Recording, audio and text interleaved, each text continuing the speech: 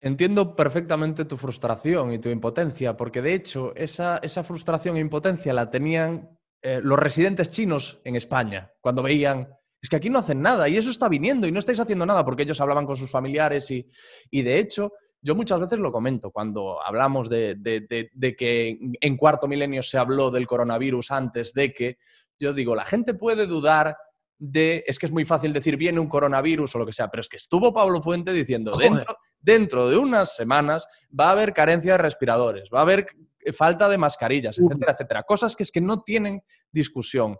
Lo que te quiero decir... programas, Alex, y varios millennials, te quiero decir, que la gente que habla de chiripa y toda una gente que no, pues claro, son una panda de ignorantes que no han seguido ni siquiera lo que se ha hecho. Fueron tres cuartos, mil, tres cuartos milenio y creo que cuatro milenio live contando cosas ya había una panoplia de cosas y sobre todo que no es Iker el que dice, joder, que son los expertos.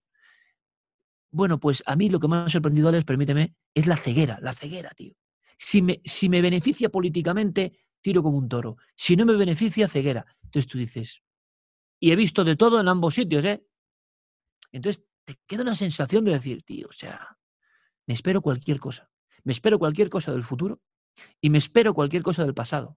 Es decir, muchos temas de conspiración que yo siempre he intuido que nos han engañado, ahora tengo clarísimo que nos han engañado. Porque claro, veo cómo es el género humano que gobierna, sea, el, sea la ideología que sea. Aquí lo que importa es permanecer con la gente enfilada a tu lado y punto. Ya está. Por eso, ese nombre que parecía tan grandilocuente, que lo es, pero que es de un cuento de Félix Rodríguez de la Fuente, la estirpe de los libres, se me, me surge así porque en el fondo decía, yo quiero estar libre de todo esto, tío, de todas estas presiones, poder decir lo que yo veo que ocurre. Pero te lo digo, ¿eh? También es bueno y malo la falta de memoria de la gente. Si tú te vas a final de enero, febrero y marzo, hasta que ya estalla el tema, había que ver cuál era el discurso. Yo me subía por las paredes y a muchos grandes profesionales célebres les fui a tocar a la puerta. Cero.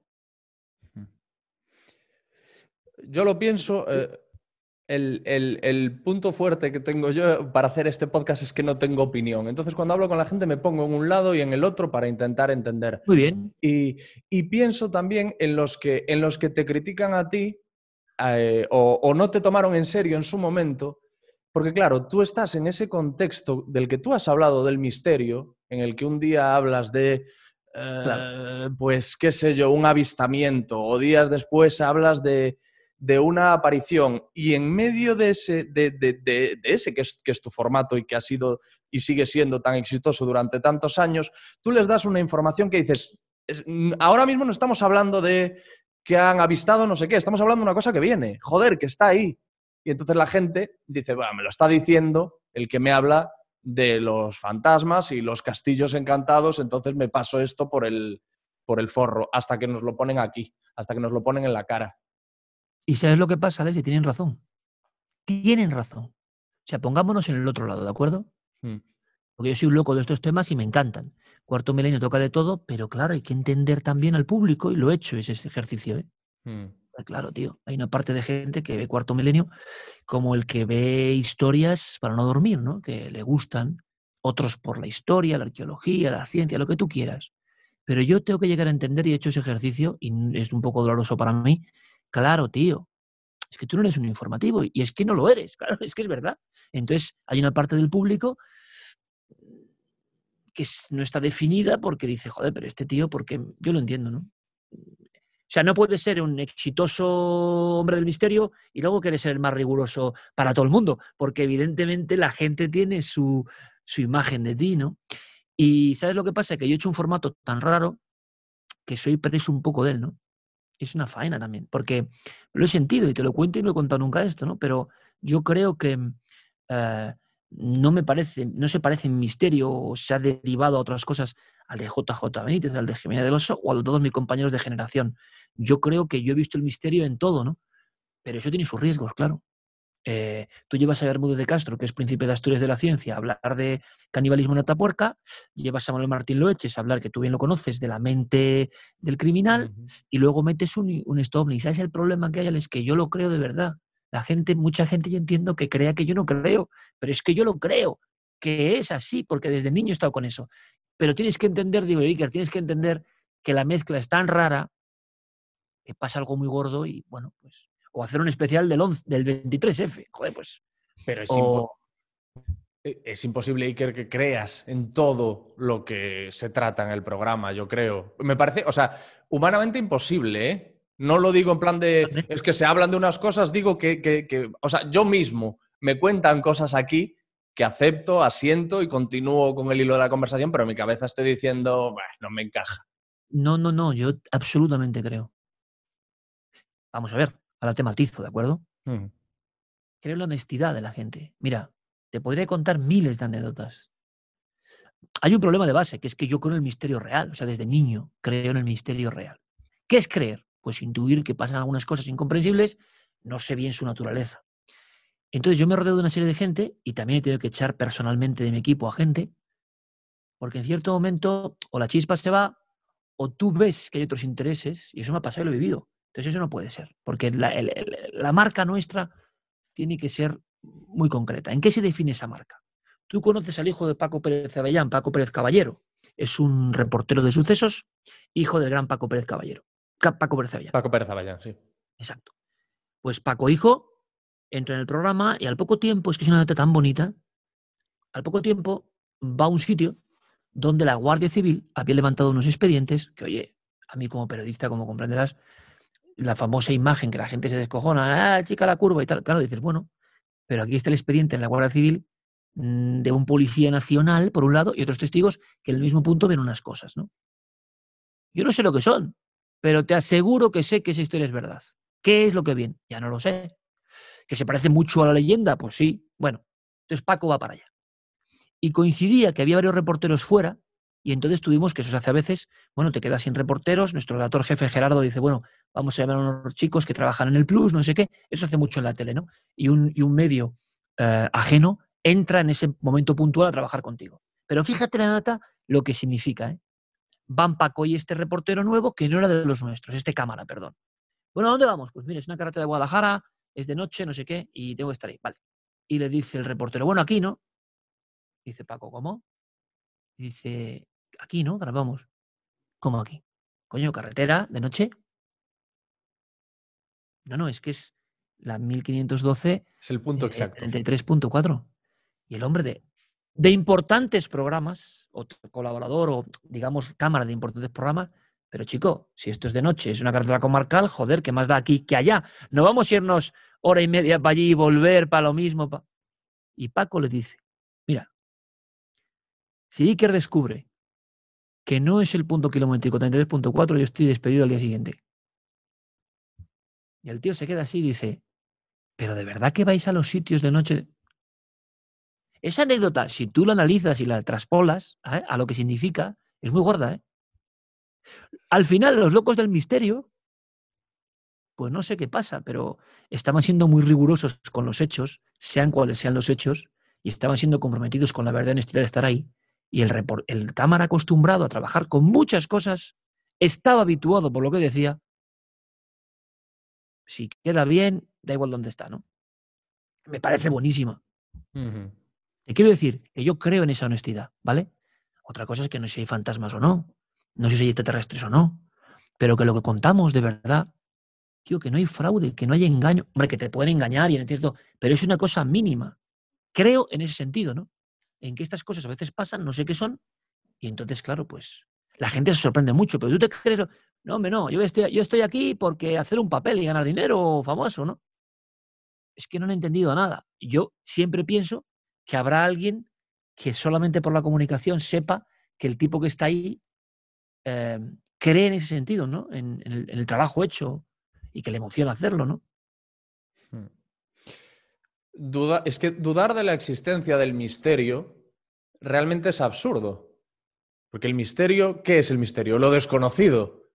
O sea, dudar de la existencia de eso es de una petulancia y de una ignorancia que no, no, ha lugar. Otra cosa son los casos concretos, ¿no? Pero el misterio, eso va a estar ahí siempre. Y el día que no esté, nos habremos ido al tacho. Y eso que, yo cada vez veo más misterio en las cosas que hipotéticamente no son misteriosas, ¿no? Eso también ha sido mi transformación. Es decir, yo en cierto momento, sobre todo, empiezo a ver misterios apasionantes en, todo, ¿no? O sea, yo me encuentro una araña de un tipo en el jardín y estoy flipando, ¿no? O sea, la estoy observando y, y me sigo maravillando. Y esto puede parecer una tontería, alguna gente sé que le parece una tontería. O veo cosas de las estrellas y no me la acabo de creer. O, o la complejidad de la neurona o de la célula y yo no me la acabo de creer. O sea, me parece toda una sinfonía tan extraña que sinceramente me apasiona más que que haya una casa con ruidos, ¿no? Te lo digo de verdad, porque la mayoría de veces tienen explicación. Pero nadie va a mentir ni va a hacer unos ruidos, es lo que te quiero decir, ¿no? Claro que crees que gente cree que está pasando eso y que le da mucho miedo. Y vamos allí y lo hacemos. Entonces, y claro, la gente dice, nunca pasa nada. Coño, claro, porque es verdad, porque si fuéramos otros pasaría de todo. es que esa es la, magia, ¿no? Y mucha gente dice, joder, pero el fantasma. Pues chico, pues será que no existen los fantasmas tal y como los vemos, o que desde luego las cámaras no le gustan nada, y es una experiencia que es lo que yo creo, ¿eh, Alex? Mucho más interna y personal. Mucho más interna y personal. Para esa persona le pasa algo a esa persona, que le marca la vida. Porque yo he hablado con miles de personas que han vivido el fenómeno, y cuando tú los tienes al lado, Alex, casos, digamos, seleccionados, ¿no? Es que no hay lugar a la duda. O sea, esa gente ha pasado por ese post shock postraumático. Eso es una realidad. ¿Qué se esconde ahí? ¿Por qué se aparece? Yo no lo sé. Pero como yo personalmente, yo, yo he visto, por ejemplo, el tema de los ovnis, los he visto dos veces, sin lugar a duda que eso no era nada, y he visto miles de cosas, pero dos que, o sea, bien puede venir el Papa, ¿no? Aquí a decirme, pues también te da mucha fuerza. Y yo entiendo que muchos investigadores sienten una gran frustración porque después de muchos años no les pasan cosas, ¿no? Lo entiendo.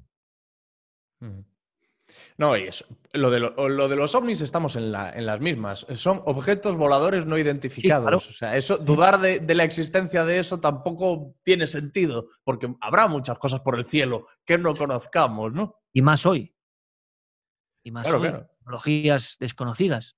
Yo creo que hay algo muy desconocido también. ¿eh? Yo de verdad que lo creo. Creo que hay cosas que no, no creo que pertenezcan a lo humano, ¿no? Y que son señales, que son... Eh, alguien me lo dijo una vez y me pareció un, símil muy bonito. Mi compañero Sergio, el jefe de imagen de Cuarto Milenio, estábamos trabajando de madrugada a altas horas. Eh, no, perdón, esa fue otra historia, pero estábamos en una sala de reuniones y alguien se confundió. Me estaba equivocando de historia. Y fíjate qué cosa más bonita. Bueno, alguien entra, abre la puerta, ve al grupo de, se queda así, dice, oh, me equivoqué, hasta luego, pum. Se queda así, y Sergio, es un vitoriano muy peculiar, me dice, tío, yo creo que estos son los ovnis. Yo, ¿cómo? Dice, sí. Equivocaciones, interacciones de otros planos o algo, ¿no? Porque la propia, la propia anatomía de los casos es tan absurdo, tío, y tan real. Es como si dos planos se juntaran como un fallo en el sistema de un software, ¿no? Algo así.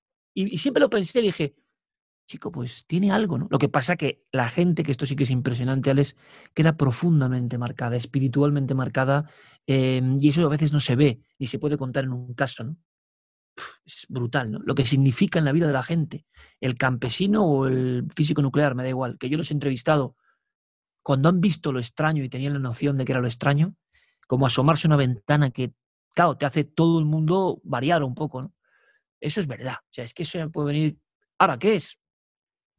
Mm. Yo soy escéptico absoluto, entonces puedo ponerme en la piel de, los que no creen.